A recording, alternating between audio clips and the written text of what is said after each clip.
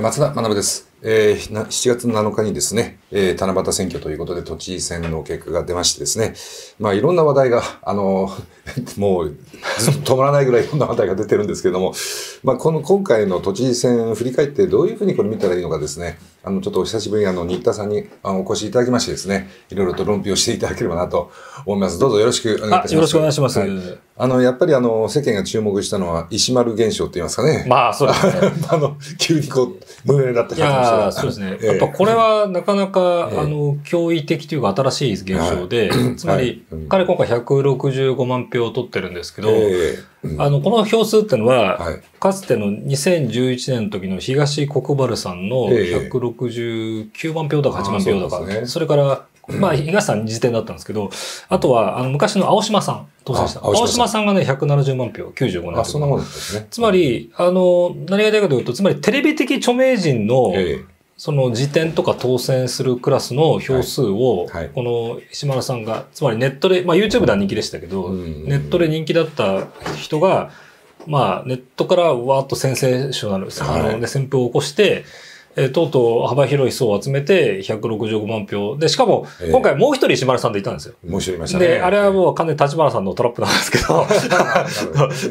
でも僕、いや、正直立花さんもね、YouTube で、いや、もうこんなに選挙民がバカだと思わなかったって言って、もうすごいやって、ちょっとさすが挑発してるんですけど、でも本当に、まあ、それは言葉適切は、言い方適切ではないかもしれないけど、ただ、まあ、9万票もですね、このもう一人の石丸さんが取っちゃって、はい、だからまあもしかしたら、そのうちの、実際僕聞いてると、石丸さんの支援していた人たちの中にも、はい、中ですら、間違えて入れちゃったって、ちょっと半泣きしてる人がいたらしくて。でそれだけやっぱり、あの、要は選挙戦を普段初めて選挙に行きましたとか、はい、普段もう今までずっと選挙行ってなかったって、選挙慣れしない人たちがそれだけ広く応援したってこともあって、でも実際投票所行ったら、もう一人で石原さんに間違えて、あの、投票所行くとほら、区によって、市によって、あの、ちょっとあの、その、出してる名簿の順番違ったりするんですよね。それで、右から見て一番最初に目に入った島田さんで書いちゃったっていうね。な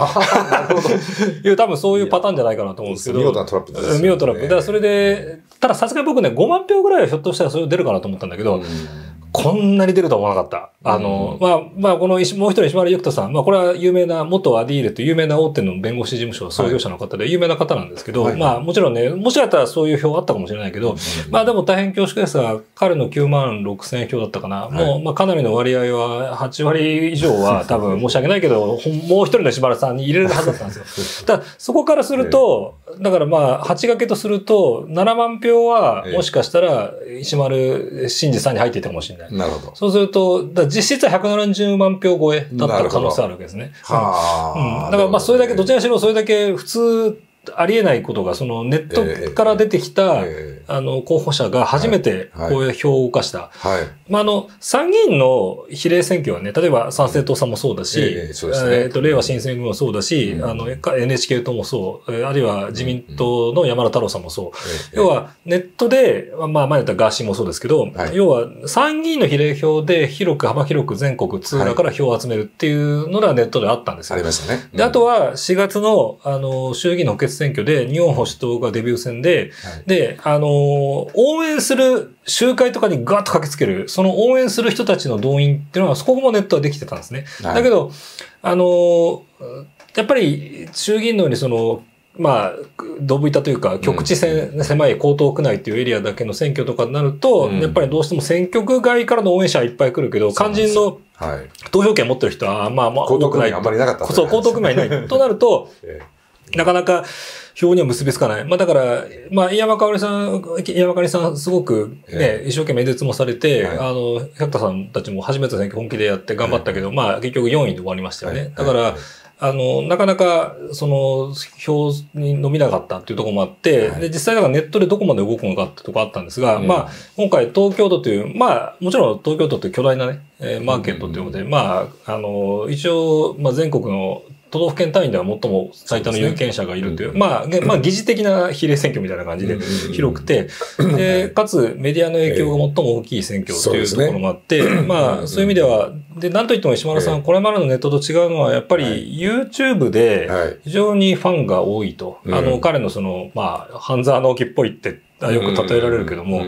で、その、で単にその応援者がいるだけじゃなくて、これがすごかったのは、その、彼のその特集っていうか得意な、あれなのは、彼を追っかけるはい。YouTuber たちがいっぱいいて、ええで、要はうん、彼を映すと、その、自分とこも石丸さんの、あの、そのチャンネル、まあ今、それを切り抜いたりして、切り抜き動画ってですよね。石丸さんのチャンネルを、まあ前は秋高田市議会の議議員とのやりとりを、はいはい。やり合いを、それを切り抜いただけだって、テロップつけたりとか、もう面白おかしく編集したりしてたんですけど、それが今度本物が東京に現れたもんで、ええ。今度それを連日のように追っかけ状態で、うん。僕はもうね、新しい御用メディアがね、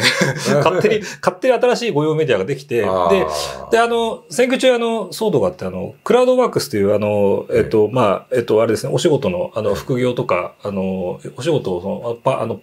あの、振る、あの、ああサイトがあるんですけど、はい。クラウドワークスさんの方で、あの、要は、石丸さんの動画を追っかけるカメラマンとかをスタッフをやり、募集したんですね。で、これは陣営が募集してんじゃないかっていうふうに、みんな歌、一部、わーって反対派の人がね、うん。あの、批判したんだけど、これは全然そんなことはなくて、もちろんそんなことやったら買収になっちゃうんですけど、そうですね。それはなくて、これは普通に YouTuber の人たちが勝手に、うん。もう勝手に的に、要はうん、石原さんを追っかけて映すと再生回数が上がるからうん。お金になると。うん。もう要はビジネスとして成立してるから、だけど一日たくさん街頭演説行くから、うん。もうスタッフ雇わないと回らないんでしょうね、うん。おそらく。で、で、それで、それでもう、あの、何でもいいからやってくれると。うん。まあ、その申し訳ないけど、このスタッフさんもね、はい。全然政治系系とかも、もう普通にあの、ええ。あの、あの、駅の、駅の漢字の名前も間違ってたり してましたからね、ちょっと、お、およそ、あまりその、なんええ。か、あまりその、お勉強があんまり得意そうな感じでは印象はないんですけど、ただ、まあ、ただ、あの、動画をそうやって若い人を中心に、まあ、フリーターなのかわかんないませんけど、動画を撮る心得のある人を集めて、そういう形で YouTuber たちで勝手にどんどん御用メディア状態になってると。なるほど。、で、こういう非公式の動画が、もう人によってはもう何十万回も、100万回近くも再生されるケースもあってう、んそれが何チャンネルもあるんですよ。で、なんか聞くところによると、石原さん自身はあんまりそういうのが乱立することはあんまりよし、よしとは思ってなかったらしいんだけど、まあでも、あのね、選挙やる側からしたら拡散してくれるから、勝手に拡散してくれますからね。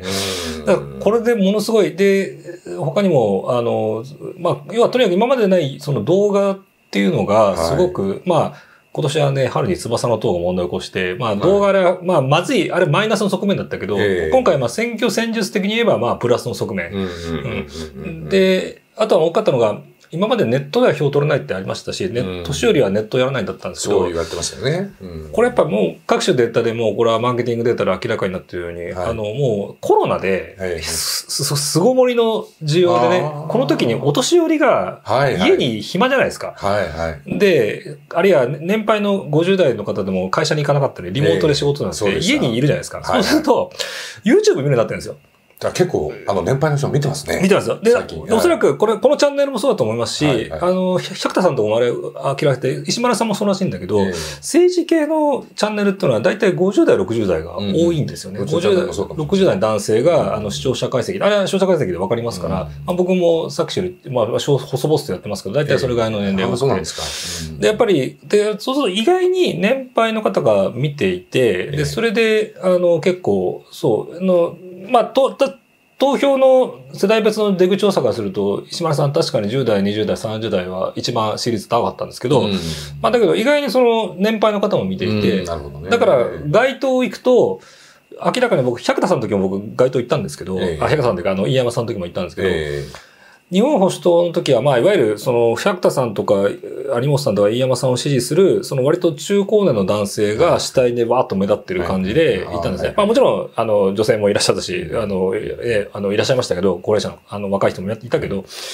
だけど、今回石丸さん行った時は、もう、本当に老若男女、え幅広く、幅広くと。うん、街頭行ってみて、で、本当に、普段そんなに政治見てないなって感じの雰囲気の、ううんん。なん、か、本当になんか、本当なんか普通にそこら辺にいそうなというか、もう全然普通に、そんなになんか、もう普段そんなに選挙とか政治とかにそんなになんか扱ってる感じとかじゃなくて、もうなんか、割とフラットにひ広いというか、うんあそういう方が、あ、だからこう見た瞬間に、あ、これは多分、あの、ひ広がるなと。あ。うん。多分、だからこれはおそらく今までのその固定ファンがいるんだけじゃなくて、うん割とライトな興味を持ってる人も含めて動かしていたの。うんそれはやっぱこれだけたくさん YouTube で拡散もしていて、うんあとなると、これはなかなか大きかったんだろうなと。なるほどね。だからやっぱり、この選挙始まった時、小池 VS 蓮舫だったわけでですしよ。たね。で、今まで都知事選ってテレビが、マスコミが設定したこのアジェンダで基本動いてきたわけですよね。そうですで、まあ、蓮舫さんは途中そこまでは、あその、に一対一の対決に持ち込むっていう点では、一瞬成功したんですけど、はい。で、僕はあの、えっと、この、今回石丸さんの選挙を率いた、あの、藤川慎之介さん。あ藤川さん。藤川さんも、僕も10年ぐらいお付き合いになって、はい。よく存じてます伺ったんですけど、とにかく、最初マスコミは小池蓮舫ばっかりだから、ええ。この構図をいかに早く突き崩すかと。で、それで、まずネットから徹底的にもう発信、拡散を徹底的にやっていって、で、もちろんどんどんどんどんそういうさっき言った切り抜き YouTuber たちがガーって来るので、うん。乗っかって、もう勝手に御用目でやってくれるんで、うん。それだから拡散した中で、えーそれでやってるうちに、だんだん、そうだんだん期日前投票の出口調査で、はい。もう気がついたら中盤の時点で蓮舫さんは上回ったらしいんですよね。うんうんうんまあ、電話調査で固定電話でやるとまだ蓮舫さんの方がちょっと上だったらしいんですよ。だから、あの、し朝日新聞とかは、あの、うん新聞社読売とかは、あの、蓮舫さん2位で予想したんですけど、うんうんうん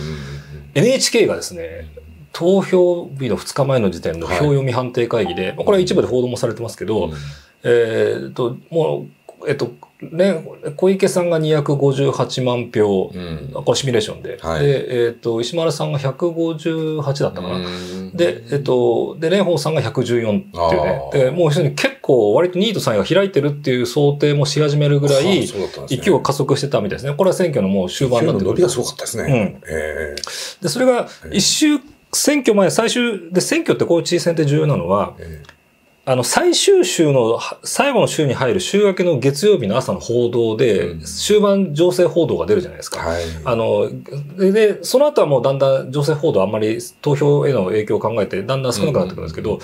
一番その最後の週末、ラスト土土曜日ラ、あラスト日日曜日、ラストサンデーを過ぎた後の、はいこの日曜の夜から出てくる、あの、最後の終盤の情勢報道と、ここで、まあ藤川さんが言うには、ここでできれば2位になりたいかったと。うんうんで、なかなか、ちょっとね、やっぱり各社も慎重で、蓮舫さんは2位の、2位判断をしてた社が多かったんですけど、なるほね。でも、実態としてはもうすでに期日前投票ですでに、あの、もう、ね。蓮舫さん抜き始めてたんですよね、うんうんうん。石丸さんは。で、そういう中で、ほぼ並んでるって状態で、ここで、社によってはもう、あの、いわゆる二強対決が3局になったとうん。いう形に、えー割り込む。そうすると、メディア露出で、いわゆるあとはバンドワゴン現象で、はい。あ、なんか、石丸が出てきて面白くなってねって感じになっうて、んそれで普段割と無道派層が、まあ前、まあ以前は小池さんに入れたような人人たちがですね、うん今回は、あの、面白がって、あの、い入れ、面白かったというか、まあ、ちょっと小池さんにちょっと不安を持ってる方々が入れたという形でで、それでどんどんどんどん膨らんでいったという感はと。だからう、ん当初の日日経だったかな？日経で、はい。日経だったかの支持率で、序盤でちょっと、まあ、情勢ちょっと見てみたら、あの、えっと、蓮舫さんは、まあ、ほぼ想定通りで、大体パーセンテージで言うと、大体150万票ぐらい、まあ、基礎票ぐらいのね、あの、共産党60万票、立憲が50か60とかで、まあ、大体120プラスアルファで、ね。まあ、で、都内では大体これぐらいだろうなと。はいで、想定想定だったの。だったの。うんだから、落ちもして、伸びもしてないけど、落ちもしてないって感じだった,、だったんですね。で、で、一方だから、小池さんが意外にパーセンテージ見たら300万取れてない。はい250万票ぐらいじゃないかなと。うんでさっきの NHK も258万票で想定してましたけど、あの、意外に伸びてないと。じゃあ、す前回小池さん360万票取ってるんで、はいはい。じゃあ、その100万票どこ行ったんですかってなった時に、うどったのが、第三勢力の石丸さん。うんうんうん石丸さんに、石丸さん当初、自民党の支持率調査では8%ぐらいだったから、まあ、単純計算すると大体50万票ぐらい。だってね。だから、まあ、参議院の東京選挙区だったらギリ当選かもしれないけど、まあ、とても都知事選では話にならない。ところが、この小池さんの落っこってきた100万票がもしかしたら乗っかってきてるかもしれないと。うん。この離れた100万票が、蓮舫さんからというよりは、どちらかというと小池さんに乗っかっていた票が、石丸さんに乗っかってきた可能性がある。あ、なるほどね。だから、レゴさんは150で、で、もうまあ、まあ、ずるずる気持ち沈んでる形で、まあ、動かない、うん。伸びない、むしろ沈んでいったって。うん。で、小池さんはガーッと減らして、その小池さんから減ったものが石丸さんにガッと入って、抜き出たと。いうのが、今回の、まあ、全体の選挙の流れですかね。私の。知り合いなんかでも、まあ、割と年配の方が、え普段から小池さんのことを批判ばかりしてる人が、うん。あの、石丸さん言ってることは、ね、あの、その通りだって。感じがしたんですけど、だから、あの、石丸さんは、うんまあ、その選挙の手法っていうのは確かにそうなんだと思うんですが、じゃあ一体な、何を言っていて、何が受けたのかっていう話はどう、どうなんでしょうか、いや、これがね、ええ。面白くて、あのはっきり言って、これ、僕、自民党の選対関係者もみんなね、ええ。も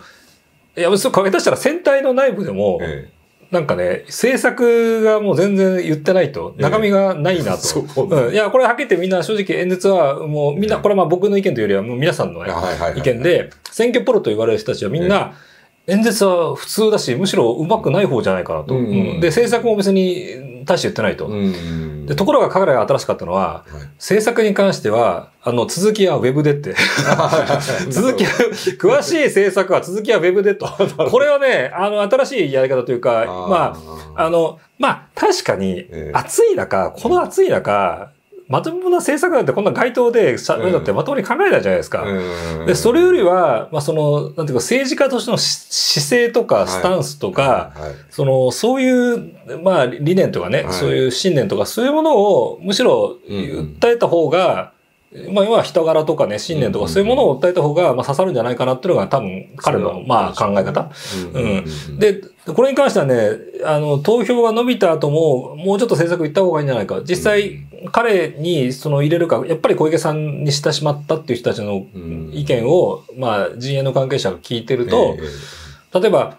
小池さんって30代、40代の子育て世代層が、はい。はい。まあやっぱりここはやっぱあ熱かったわけですよ。はいはい。で、これなぜかといえば、これはもう教育無償化とかで、あの、が学校無償化、給食無償化で、まあ非常に親御さんの負担減にかなりつながったというところもあって、やっぱかなり、あの、支持が熱い。これは小池、小池都政のばらまきの 成果がだいぶ出てるわけなんですけど、ええ、で、石丸さんになると、石丸さんなんとなくなんかぶった切るイメージがあるから、はい。なんか、これがやめられちゃうんじゃないかなというところがあって、で、やっぱりそれだったら小池さんがいいでいいやっていう人が多かったらしいんですよ。なるほどでね、だからここをどう突き崩すか、だからこれに対する代案を用意しろみたいな話で出てたらしいんだけど、うん。でもなんかどうやら、あの、本人は、これ実際動画でも言って言ってたんですけど、はい。その細かい、え。その高齢者向け政策だとか、ええ。子育て政策だとか、ええ。まあその声はあるけど、細かいことはもう言う必要ないんだと。うん。うん。もうまず姿勢とか、うん。そういうことを見せることが大事だっていうのをうん。終盤で言ってる。で、だから僕驚いたのは、これはみんな驚いてましたけど、はい。あの、一番最後の、最後ね、もう街頭、行けば行くほど、うなぎ雪だるまのように敷居にどんどん人増えてって、はい。最後、東京駅前ではもう1万人を超えるであろう、すごい大観衆を集めたんですけど、うん。ここの台間に至っても、もうある程度知られてる中にかかっても、じ、なんと演説で自己紹介しましたからね。はあえー1981年、えー、広 島秋田、秋田固まれとかで、えええーって感じで、はあなんか、えーみ三菱、えー、UFJ 銀行に入りとか言って、だからそんなもう、なんか、まあある程度みんな知ってるよっていう中でも、ええでもね、初心者マーケティングっていうか、はとにかくなんかもう、その、えー初心者をとにかくハードルを下げて、わかりやすく、それで、で、それでいて演説を短めにキュッと締める。うんまあ、最後の演説はさすがにちょっと、あの、早いてたから、ちょっといつもより長かったんですけど、問題聞いてるとね、もう本当に、あの予告の掲示板とか、あの、ネットで SNS の該当活動を見ても、大体10分15分ぐらいですよね。で、あの、やっぱ自民党とか大きな政党とか、大体ほらもう前振りで地元の市議会議員とか都議会議員がまず前振りで演説するじゃないですか。すね。もうそれだけで、いつになったら候補者出てくんだよみたいなね。もう炎天下なんか30分とか待たされるわけですよ。で、それも早く本人出せみたいな中で、まあ、今回彼はもちろん応援、無党派だから応援の名詞がほとんどね、あの、まあ、一部、あの、ぎえっと、ひ彦根の市長さんとかが、まあ、週末だけ来られてましたけど、うん。それ除くと、まあ、基本的にはほ一人でほぼやってて、まあだから一人しかいないっていうのはあるんだけど、まあ逆にそこを逆手にとっても最初からもう本人がいきなりポンとやって、なんか一回どっかでウグイスさんが遅刻した時は本人が、あの、朝し本人が最初前振りもやってたらしくて、あ、そうですか。うん。ええ。それぐらいあの、ええ。まあ、いきなり本人に会えると。で、それでもう暑い中もうさっとね、分かりやすいことを言っておって、自分の政治スタンスとかを示して、それでさっとまあ、引き上げると。うんで、だからこそ、まあ逆に一日もう、じあの、公表してないものを含めて、もう一日13、4箇所ぐらい。うんうんうん。で、これを、結構待ってたらしいですね。いやーそう。ね。で、だから、で、よくだから、これ今回誰も言ってないんですけど、みんな SNS の戦略とか、みんなそっちで話しがちなんですけど、はい。これは僕はもう、僕はかつてネットの選挙で、10年前の都知事選で家入一馬さんという全く真逆の、ネットでほぼ発信をね、はい、えー、して、街頭活動は2回しかやらなかった。で、結果的には、あの、あの、まあ、ネットの起業家の人だったんで、うん、まあ、一応主要陣営、主要候補に入れてもらったけど、うん、あの、4番手の玉上さんにはるか及ばない、もう、玉上さんとその時60万票だったから、はい、あの、家入さん結局8、7万、7万8千票ぐらい、全然投稿及ばない5番手。で、10年前はそのレベルだったし、あの、ネットでなかなか票動かなかったんですけど、だからそういう経験してるから、どれぐらい動くかなってずっと思ってたんですけど、やっぱり最大の大きな差ってのは他のネット系候補ともネットでほぼやってきた人の差っていうのはやっぱりリアルで、ネットでその撒いた種をリアルで本当に刈り取りに行ったって感じですね。で、だんだん、で、藤川さんとか話聞いてると、まあ、やっぱり最初はその、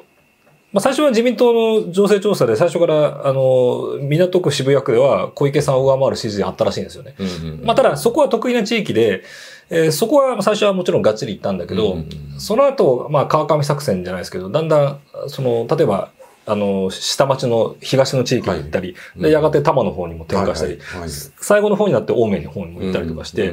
で、ある程度知名度が、まあ、広がって、で、最初はその23区内人がっとね、あの広く回る。うん、で、都心はまあ寄るけど、まあ、最初は、最初はその浅草とかね、そういうところから江戸川とか行って、で、だんだん広げていって、最後、その、中盤の余裕で出てきたら、あの、青梅の方にも行ったりとかして、で、例えば武蔵村山なんて、あの、全然電車もない唯一の自治体なんで、あの、東京では。ここ行ったらね、もうすごい、もう大歓迎でね、なんかされたらしくて、うん。で、やっぱり、まあそういう形でだんだん、その、ね、広がっていったっていう感じで、まあ、マーケティング的にはなかなか、あの、要するにもう初心者マーケティングに徹して、投票率を上げて、まあ確かにそれしか勝つ、ね、あの、活路はないですよね。あの、小池さんが今回はどちらかというと、あの、完全にもう体制側というか、あの、組織票を固めてますんで、自民党、公明党固めてるから、じゃあそれ以外で取るってなると、まさに8年前の小池さんですよね。小池さん、8年前小池さんは自民党オフィシャル候補は増田さんだったんで、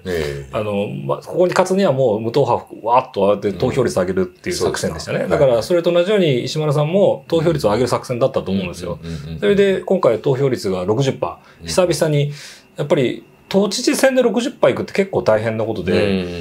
今これだけあの、1400万都民ね、有権者1100万人がいる中で、はい、あの、この方たちを半分行かせる、言っていただくだけでも大変だね。なんかで、まあでも60%いったのは、あの、あれ以来ですね。あの、猪瀬さんが当選したあの、2012年の、あの、あの時はこれ衆院選とセットだったんですよ。衆院選とセットだったから投票率が62%だったかな、言ったんですけど、今回単独の都知事選で60%いったのは結構久々のことで、そういう意味では、まあ、あの、今まで普段投票に行ってなかった人たちが、まあ、しっかりいったなと。まあ、それがゆえにちょっと逆にですね、あの、今回、ここの9箇所で補欠選挙をやってて、そのうち8箇所で自民党は候補者出してたから、自民党今回2勝6敗で惨敗だったんですけど。惨敗でしたね。これはもうね、それは投票率が石丸さん、今、別に石丸さんは自民党と戦ったつもりないと思うんだけど、えー、まあ今、投票率が上がれば、当然組織票に依存する自民党票っていうのは非常に、ただでさえ逆なのに弱いですよね。ああ、なるほど、ね。それは石丸現象で一緒に投票行ったら、ついでに、ああ、そういうね。ね、あの、だからじゃあついでにちょっともう、あの、だからまあ、ちょっと自民党気にないして、もう野党に入れとくかみたいなね。うん、まあ、それが維新行ったり、立憲行ったりみたいなあれ他の無所属の候補入れたりっていう感じで、なってしまったんだろうなっていうのが、なるほど、ね、そういう。そういう面でも効果があったんですね。ね。うん。それであれですかね、あの、よく言われたのは、要するに今の有権者は、既存のせ与,、与党、野党、それはもう嫌だと、うん、全く新しい新興勢力の方に行く流れなんだっていう話もあったそれはそういうふうに言うんでしょうかね。あそうですね。だから、これは間違いなく言えて、えー、あの、今回その、まあ、やっぱり自民党も今回補欠選挙を見れば、やっぱ統制が回復してないのは明らかですよね。はい、そで、ね、そしたら今度蓮舫さんが3位になってしまったところで、はいはい、あれ笑っちゃったけど、NHK の世論調査、都知事選直後のやつ、はい、あれ、支持率が半減してましたからね、ほぼ。9%から5%にガーンと減ってて。いや、まあ、都知事選ショックもあると思うんだけど、まあ、おそらくその前からもそういうトレンドが出てたから、石丸さん2位と NHK は予想したと思うんですけど、だから、もう今、ある意味、自民党もダメ、立憲もダメ、うんで、維新も今回選挙に候補者すら立てられ、立立てることすらできなかった。しましたね。ね、そう。だからね、石丸さんと一回接触するしないあったらしいけど、まあ、ええ結果的には折り合わなかったところで、そうそうですると維新も参戦すらできなかったと。うんで、当然、あの、補欠選挙も2つ立てたけど、もうこれ全然、もうはい全く時点にもいかなかった。うんで、こういう中で言うと、本当に、どの政党も、本当にもう、グダグダ感というか、なるほどね。だから、で、思うんですけど、なんとなく、まあ、世の中全体がもう、なんていうかな、これはまさに、あの、今回、ダメだった蓮舫さんサイドのあれで言うと、辻元さんとかがもう私たちいらんと思われてるんかなみたいな感じでなんか言ってたらしいんだけど、多分、うん。まあ、辻元さんには申し訳ないんだけど、多分これはもうどの政党も、なんていうか、もう世代交代しろっていうのが、ある種のそのメッセージというか、あー有権者の、だから、石丸さんそのものが、まあ、その彼もね、いろいろ今日本編ある人だから、まあ、いいかどうかは別として、要するに、ある種その、与党も野党も、うんもうそろそろいい加減にその、世代交代しろよっていう。既視感、既視感のある人は嫌だって。そうそう、岸観の人はね、嫌だっていうね、んそこがね、うん多分あったんだろうなと。うん。だから、だからそういう意味では、だからここに来て、やっぱね、自民党はやっぱ意識してるわけですよ。うん。あの、この人産経新聞だったかに書かせてるけど、ええ。あの、総裁選に、あの、若手候補二人が、あの、動向が注目されてるみたいな、あはい。でもなんかそれっぽい記事をですね、なんか、あの、それで、あのね、前、経済安保大臣やった小林隆之さんとはい小泉進次郎さんのね、はい二人が並ぶような記事をね、まああれどうせ多分そういうことを麻生さんあたりが仕掛けて書かせてたと思うんだけど、あーなるほねと、あの、そういう感じで、まあ、実際、じまあ、今回この石丸現象というのが、そのある種うん。自民党総裁選にもなっている、少なくとも、うん。あの、なんていうの、まあ、若手の、うん。あの、候補者が出てくる可能性も、ついに小林隆之さんが2012年、いわゆる安倍さんの政権奪還の時の初当選組なんで、うんついにここの人たちからも、うんまあ、総理候補っていうのがね、総裁選に出てくるっていう可能性が今出てきてるんじゃないかなと。そういう意味では、おそらく立憲も今回多分、まあ失敗した理由の一つは、まあ共産党とべったり感がね、出ちゃって、ね。でこれが蓮舫さんの範囲の一つだと思うんだけど、うん。あの、おそらく要は、これも含めて、もう世代交代しろやと。うんで、立憲だって別に、あの、優秀な、あの、若手いっぱいいますよ。はい。うん。だから、あの、全然、もともと、あの、純正民主党じゃない人たちもいて、結構、うんあの、別にちゃんと中道な人もね、そのはいはい全然ちゃんとした方々いらっしゃって、いますよね。で、もう一ところが、結局、でも、上にいるのが結局、まあ、ね、まあ、泉さんはそうだ、泉さんは若いけど、うんあの、だけど、その泉さんは裏側にいるね、はい人たちが結局陰性敷いてるんじゃないかと。えうんえ結局、だから出てくるのが、もう結局野田さんとか、はいはい。もうね、あの、枝野さんとかもうね、はいもうなんかね、もう応援伝説で辻元さんが出てるから、もうええやろっていうね。そう、野田さんは C さんと一緒になそうそう。いや、あれ衝撃ですよね。そういうだって、野田さんって割と立憲の中では保守な人ですよ。これ、まあ、多分野田さんにとっては多少軸したらもうけど、まあ、蓮舫さんが古文だから、ええもうこれはもう最後一肌脱ごうって言った、うんまあ、一種まあ、野田さんなりの、ええまあ、人情だと思うんですけど、ええまあでもね、やっぱりね、あの野田さんがね、やっぱ C さんとしてツーショットになるってのは、これちょっと結構ね これは立憲の中で保守票結構決定的に離れますよね。そうですよね。うん。うんあれは野田さんにとってもちょっとね、あれだった。うんまあだから、これは、こういう形で、だからやっぱり、やっぱ、あの、もう、やっぱり立憲の中でもその野党共闘っていう路線ね、ええ。あの、補選の時は良かったけど、うん。じゃあ、これでやってどうなのかと。もう通用しないですね。も 全国大会ってむしろ逆、大、めちゃくちゃ大逆効果になっちゃってね。ううん。あ本当は都知事選でね、蓮舫さんが検討して、はいあわよくばっていうところまで行って、うん。それで次の秋以降の衆院選につなげるつもりだったから、もう大誤算ですよね、これ、大悟さんですね、うんこれはね。うんだだから、あの、よ与野党ともにですね、そうそうこう、なんか戦略の見直しみたいなのが、迫らやれちゃったと。なりますよ。だから、ええ維新だってもう今なって慌ててますよね。はっきり言って。だからもう候補者立てられなくて、ええで、石丸さんから支援を申し出出られたけど、あの、それはこ断ったって形だったけど、なんか、べあと別の報道ではね、なんか、石丸さんに、かに断られたみたいな感じ、なんか、まあちょっとどっちが本当かね。うんまあまあ、維新側の主張の方が、まあちょっと筋取ってる気もするけど、まあ、一旦はちょっとそう見解が違ってたりとかね。あの、まあ、どちらしろ折り合わなかったんで、うんまあ、政策的には折り合わなかったから一緒にやらなかったと思うんですけど、だから維新も、あの、宙に浮いてると。で、で、なんか、この人なんか NHK と立花さんはなんかもう、石丸さんに一方的に、別に今まで何度もぶつかってない突然宣戦布告とか言って宣戦で、もう、あれは多分、あの、いわゆる第三極票を彼も狙ってるから、うんやっぱり非常にもう、あれですよね、宣戦布告したっていうのは、まあ、これから、まあ多分、なんか、なんか、あー。要するに、石丸さんをこれからやっつける側に回りますよっていう、まあ、フラグを立てたんでしょうね。あーうん。なるほどね。あれは立花さんある意味分かりやすいと思うんですけど、なるほどね。だからそういう意味では、だから、もちろんね、あの、参政党さんにとっても当然ライバルにななると思うんで、あの、これはその、いまあ、えいいまあですねまあ、石丸さんがど次どういう手に出てくるか。そうですね。うんちょっと私には既視感がありましてね、あの、ええ参院選の時の参政党現象も、ちょっと似てるパターンがあ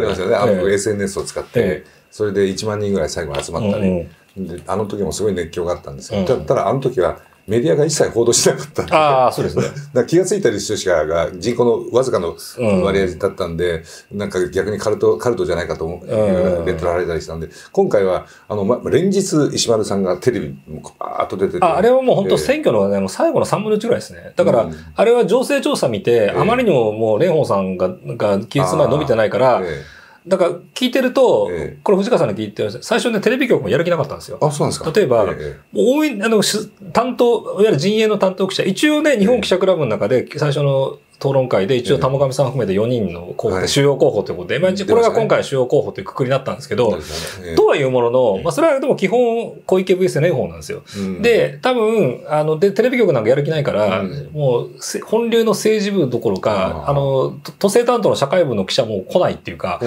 んなんかね、経済部の記者とか、い。社会部の遊軍記者とかが、ええ。まあ、とりあえず来とこうかな、みたいな感じの、おそういう感じで来てたらしいんだけど、ええ。そしたら、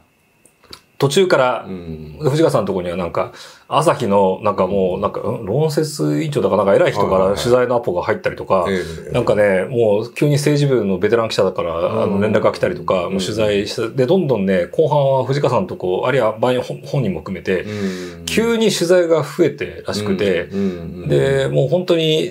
あとテレビってあの、選挙中は放映しないくせに、あの、ほら、終わった後使うためで絵を撮りたいがというにね、なんかもうそれの取材がガンガン来てたらしくて、うん。だから、あれはだからね、まさにだから、後半にかけて、あの、情勢がぐーっと伸びたっていうところがあって、うん。それでテレビ局的には、あこれはおそらく仮に2位になった、おまあ、1位には届かないだろうけど、うん。おそらく都都知事選後の、まあ、政界のキーパーソンになるだろうということを見越して、うん。まあなんか、あの、露出が急に増えたっていうところがあったらしいですね。なるほど。うえーそれで、あともう一つですね、今回の都知事選で話題になった、さっきは立花さんの話出ましたけどね、あの、あの、掲示板に同じ名前があっちゃったりとかですね、あああいうことをですね、どどういう社会現象だというふうに捉えたら、ん。だからまあ、あの、はっきりで選挙ハッキング、あれは確かにだからね、ええもうああいうやり方でね、えまあ、立花さんの一応あれやってる大義名は、もちろん直近であれによっええてその党のお金を稼がなきゃいけない。あの、今あそこ内紛でね、ええ政党要件外れちゃったから、うんあの、今仕切り直しで多分お金を稼がなきゃいけないっていうところもあおって。金返してたんてそうそうそうそう。であのね、お大津愛香さんやったらお金貸してみたいな感じで、なんかそういう、まあネガティブキャンペーン使ったりとかいろいろやってましたけど、まあ広告枠として売るみたいなね。まあなんかもう立花さんらしい、なかなかすごい、ざなんかどこから、斜めから来る発想さすがだなと思うんだけど、いいか悪いかは別として。で、で、いたら、彼が一つ言ってたのは、まあ、大義名、やる大義の名分と一つとしては、まあ、もちろん、実利としては、党のお金を稼ぐっていうのはあるんだろうけど、うん。もう一個、その、まあ、ポスターを、えもう、もう要するに、あえて、ああいうたくさんもう候補者出せるっていう、選挙ポスターを作ることの無駄っていうか、うん。要はいつまでもその昭和のこの、いつまでも縦感作って、そんないちいち、もうね、今の時代の技術的には別に全然あの、ね、あの、えっと、あの、しえーなんだっけ、えっと、あ忘れちゃった。あの、映像のビジョンとかで出すことはできるじゃないですか。あで、そういうふうにしても別になんか、あの、あ、ああの、サイネージか。あの、あそうですねはいだから、そういうその、映像の新しい技術や設備がもうあるのにあ、関わらず、ね。うんだからいちいちね、だったらそれこそむしろタッチパネルピコピコっと押せば、それこそその人のマニフェストがポーンと出てきたりとうか、ん。することはできるわけですよ。戦艦にあらかじめね、そそうやっていけば、じゃあこの人気になるから押してみようかなとかね、この人、ななじゃあ小池さん今回何言ってんだろうとか、ちゃんと戦艦に届け出たものをきちんとポコーンって、場合によってはもうね、あの QR コード読ませて、その人の政見放送が見れたりとかね、うん。そういう、もう技術的には可能なわけじゃないですか。いつまでそういう昭和のあれをやってるんですかっていうのが、これはもう、もうずっともうこの十数年言われてるけど、うん。確かに、だから、立花さん的にはあえてそういう大量擁立することによって、ええ。選挙ポスターを作ることの無駄さみたいな、ここに関しては僕は支持、支持していてうんうんうんう、ん全く同感で、うんうんまあ、いきなり全部変えるのは大変だろうけどね、その業者さんを食べさせていかなきゃいけないという、そういう、まあ、選挙業界でいろいろしがらみあるんだろうけど、まあでも、あの、しまあいわゆる木材の資源のね、問題とかことから考えると、まあ僕は別に徐々にね、映像とかそういうことに切り替えていくって新しいポスターっていうのをね、だから本当にもう、もう都知事選なのになんか、あの、世田谷区議会議員選挙みたいな、なんかなってて、なんか、もう今回、最初僕 NHK も、あの、速報で、ね、あの、投投票総数見てきてで、で、その後地区別で見ようとしたら、あまりにも50何人もいるから、もう下に画面スクロールするのが大変で、ですね。ああ、もうこれどうなってんだみたいな感じでなるぐらい、もう、いつもね、選挙の時にですね、いかに短期間で選挙区内にポスター貼り切るかでしょううん。で、ああいう、本当にそれこそ昭昭和っていうか、そうなんですよ。まあ、あとは、あれですよね、これも自民党を含めて、要は、そういう組織選挙でやるとこそうそう。だからわざと、はい少々晴らせるとかね。そうです、そうです。もうね、こういうの、いわゆる新規参入を妨害するために、うんわざと変えてないんですよ。だから、だけどもいくらなんのもちょっとアナログすぎませんと。アナログすぎうんますよね。うん。こんなこと、要するに、だから、もう、そもそもだから、もう完全に通り統略で、公職、現行の公職選挙法があまりにももう塗り固められちゃってて、でそれでそこに無理やり継ぎはぎで、で、ネット選挙も会見したけど、未だに、えー、LINE であの投票をお願いするのは OK だけど、メールはダメだとかね。そういうわけわかんないですよね。全然わけわかんない。ええなんか、まあ、あれもちょっと、あの、家庭聞いてると、あれ、あれはちょっと公明党が反対してほしいんだけど 自民党とか民主党 OK だったんだけど、あなんかあれはなんか、あの、メールでやったら、しあの、そういう人たちの動向が分かんなかったからダメだったから、謎の意見。だけど、ね別に LINE とかだったら同じじゃないかって。もう全然関係ないですよ。だから、あれも本当は、ええ。法律2年後に見直す予定だったのに全然見直しされてなくて、ね。あ、3年後か。見直すのがダメになって、うん。全然放置されてると。だから、もうそろそろ、なんていうかな、ん。本当にその民意をうん。反映するとか、そのやっぱりえ、本当にその、し今回、まあ、あの、彼のところ、あの、石丸さんのところには、もう、登録ベースで5000人以上のボランティアが来てたんですけど、はいはい。そういうその、いろんな人が参加して選挙っていうのを、その、だから民主主義を考えるっていうね、うん。これは別にどの党で関係なくね、うん。本当に別に共産党でもいいし、別に、ちゃんと、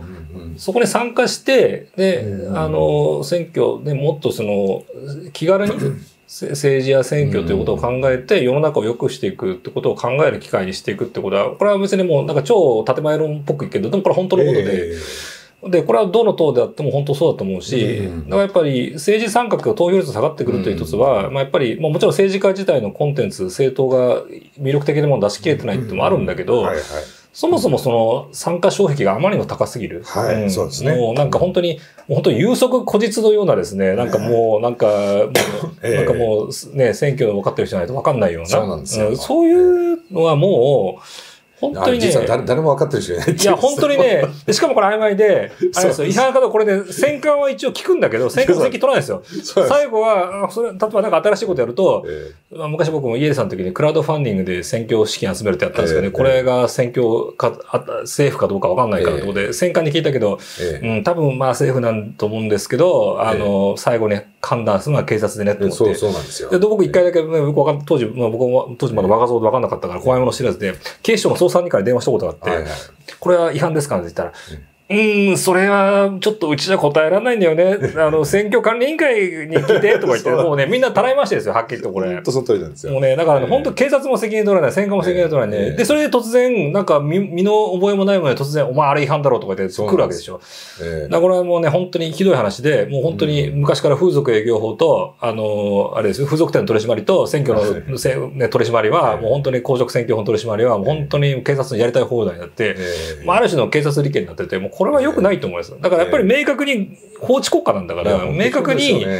もうちょっとわかりやすく。この、あの新参者にとっては非常にこのね、萎縮させるね、効果があって。あそうです。だから本当に。既得権守るいや、そうなんですよ。だからね、これはね、本当に、あの、これは、こんなことだってやっぱり本当に良くない。で、これ僕ね、これ、これ、これは、これ自民党とってもこれ一言じゃないなと思うのは、はい、